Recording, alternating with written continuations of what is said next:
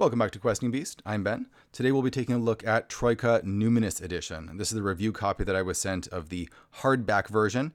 This is essentially an expanded deluxe version of Troika.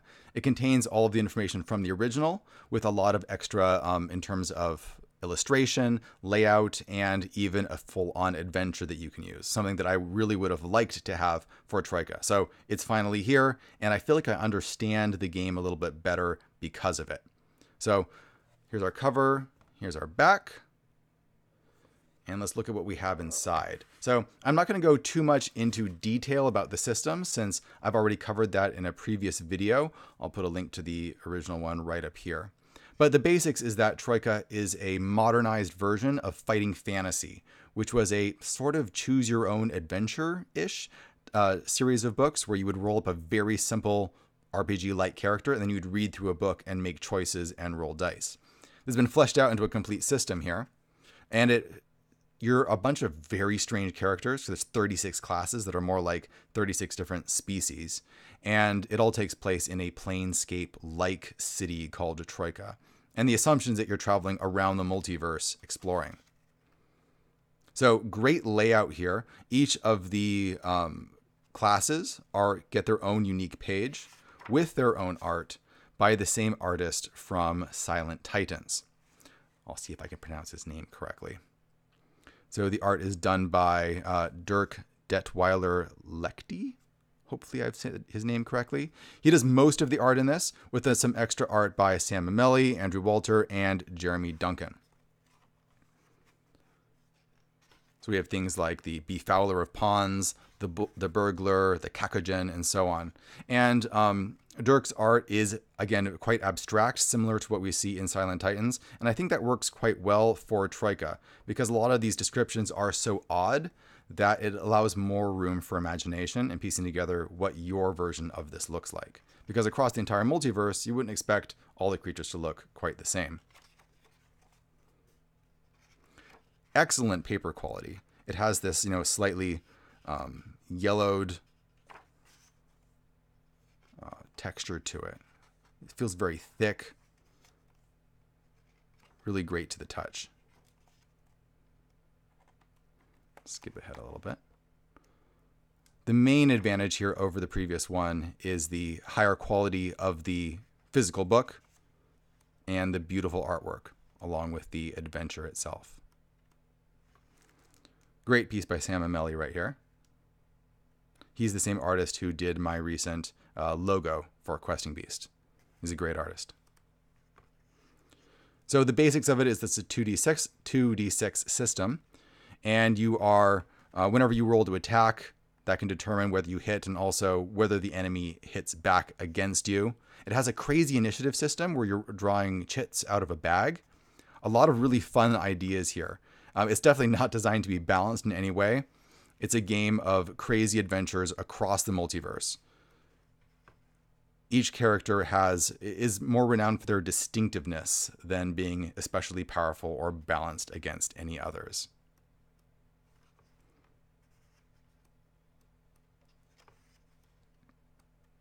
We have a bestiary in the back here, similar to what we see in the original book, but of course with illustrations.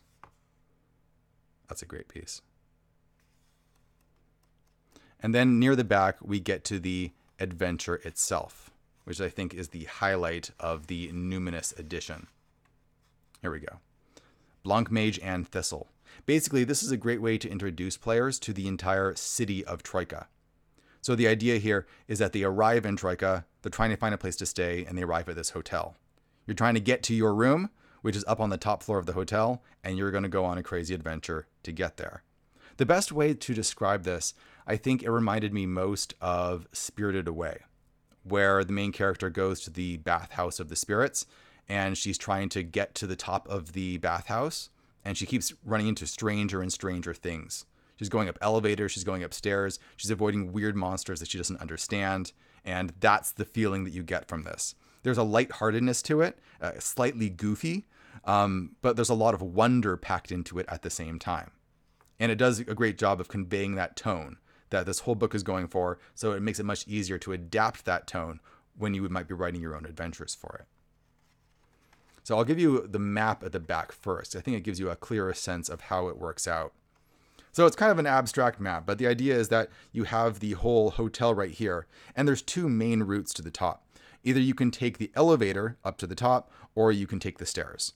And whichever route you choose to do, there are um, events, characters, encounters that you have along the way. And I suppose you could switch back and forth. You go up the elevator a bit, decide, nope, I'm out, and then take some hallways until you get to the staircase, move up a bit there, and so on. There's also rules for just wandering around the hallways and encounters that you can have there.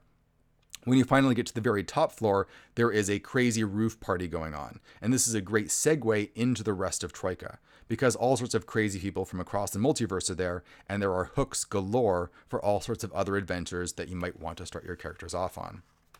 So, looking at some of the encounters that you might run into. So, we get uh, first floor is an old lady. An old lady just wanders on and starts asking you very probing personal questions, and she won't stop doing it. A great way to get the players talking and maybe make them a little bit nervous. Uh, there's a room where, um, or a encounter where people just start adding tigers.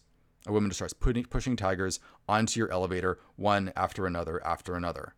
So there's a rising, there's an escalating tension here as the potential kinetic energy and potential danger of the scene rises and rises, and it's waiting for something to set it off, which is a great adventure design. I really like that. There's a mysterious friend, so you get to a particular floor and you realize that there is a guy who's been there and seems to know you, but you don't remember them ever getting on, and they follow you around and help you. And there's no explanation for how it happened or why it's happening. You just have to kind of roll with it.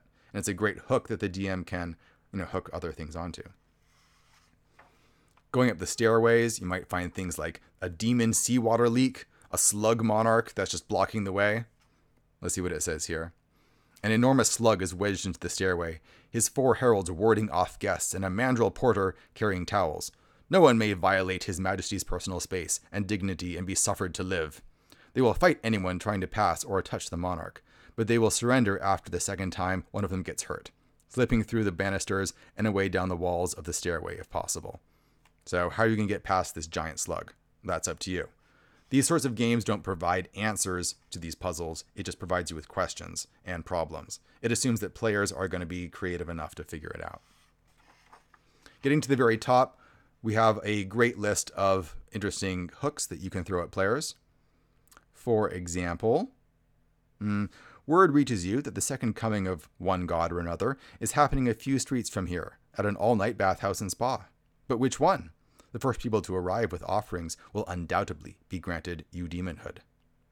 Or, for example, mm, a short bearded man wearing the raiments of a befouler of pawns. So there's all sorts of hooks to actual player classes. So if you're also a befouler of pawns, then you'll have a way of, a way of getting in here named Captain Treacle, is busily soiling the moonshine punchbowl fountain. The mandrills don't seem to mind. Treacle insists that he is simply honoring the traditions of his people. So there's all sorts of crazy things happening around, and players can use those things to expand uh, what they want to do. Because this is a very player driven adventure and a very player driven type of game. So you give players hooks, you let them run and we have a symbol character sheet at the back. I've seen a lot of other great character sheets for Troika also available online. And we have an oops table because magic will inevitably go awry. So that is uh, the hardback Numinous edition of Troika. Definitely an improvement over the original one, just in terms of the sheer quality, the construction, and the completeness. The adventure really makes it. When I was reading the original version, I really loved the flavor of it, but I could not picture how this was supposed to work together. Like, what sort of setting was it supposed to take place in? How did all of these themes combine? And the adventure, I think, makes that much clearer. And now I would feel much more comfortable running a game of this. So I'll put links down in the description below, as usual, where you can get your own copy of Troika Numinous Edition. And thank you for watching. If you enjoyed this video, remember to subscribe, and you can even click the bell icon if you'd like to get notified when new reviews drop. Thanks for watching, everybody. See you next time.